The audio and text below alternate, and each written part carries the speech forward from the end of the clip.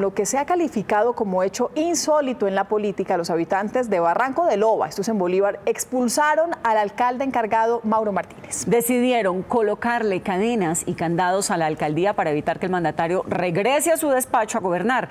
Dicen que el pueblo está olvidado, que está lleno de basuras, entre otras razones. Están listos nuestros periodistas en vivo para desarrollar esta y otras informaciones del día. Vamos a comenzar con Diego Velosa. Diego, ¿en dónde está el alcalde de Barranco de Lobo hasta ahora? ¿Qué dice?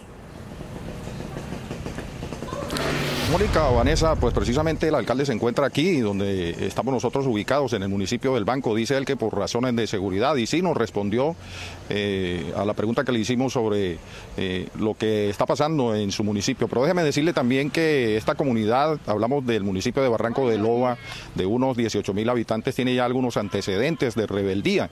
En una ocasión expulsaron de sus territorios a la guerrilla, luego lo hicieron con un grupo paramilitar y ahora pretenden hacerlo con este alcalde que es encargado a quien literalmente le cerraron las puertas de la administración.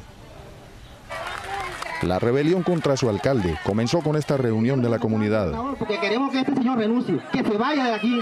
¿Por qué? Porque ya no aguantamos más. Expulsar al alcalde Mauro Martínez de la Fuente se convirtió así en un mandato popular. Para cumplir la radical decisión, la comunidad colocó cadenas y candados a la sede de la alcaldía, la registraduría, la personería y hasta el hospital local. Los argumentos son muchos. El pueblo está abandonado en todos sentidos, no hay matadero público, los basureros nos están ahogando, el vertedero de, las aguas servidas eh, todas las noches huele, huele mal aquí en todo, en, todo este, en todo este sitio. Nunca hemos tenido un alcalde como este, un alcalde malo, que todo lo de aquí del municipio se lo ha llevado para otro, para su pueblo de él, ¿no? Nuestro pueblo lo tiene abandonado. La crisis comenzó cuando el alcalde Uldarico Tolosa, elegido por mandato popular, fue suspendido y capturado por presuntos actos de corrupción.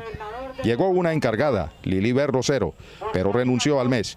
Y ahora al segundo alcalde encargado lo sacan corriendo del pueblo. Por culpa de las mismas comunidades porque todavía no hemos aprendido a elegir.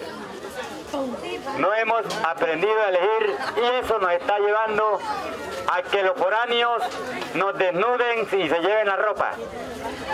Se roben todo. Este alcalde no lo queremos y no lo queremos aquí en Barranco de Loba. Que renuncie. El paradero del alcalde Martínez no lo conocen ni sus funcionarios. En estos momentos no tengo conocimiento. Eh, de manera personal, pues siento que es una situación bastante incómoda para él, pero, pero en estos momentos no sé dónde se encuentra. Noticias Caracol lo encontró en el municipio del Banco Magdalena, navegando 35 minutos desde Barranco de Loba. Dice que está allí por su seguridad y que espera rendirle cuentas a la comunidad. Yo le respondo que respetuosamente deberíamos entablar un diálogo como tratamos de hacerlo la semana pasada eh, para poder mostrar eh, las gestiones que hemos realizado y una rendición de cuentas de los no más de 15 meses en los que he estado en la administración. Afirma que no ha contemplado la idea de renunciar, pero eso depende del jueves, del diálogo. Tenemos las ganas de seguir trabajando por Barranco, las ganas de seguir luchando y que se acaben esas diferencias políticas que existen. Mientras se define la situación, la comunidad vigila día y noche la sede vacía de la alcaldía.